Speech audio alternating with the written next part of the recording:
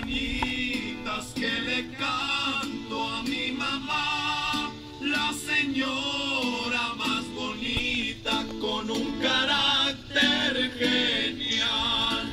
Es buena y muy cariñosa cuando de buenas está, pero cuando se encabrona le da miedo a mi papá.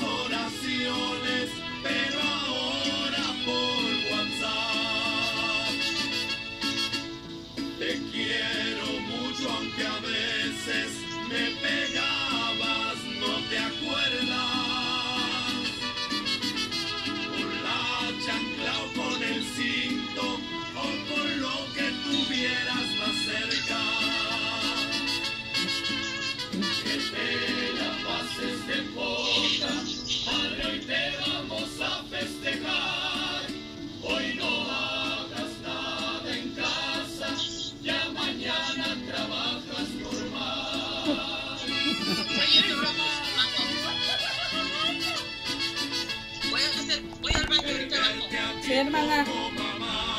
En el medio, no vayas con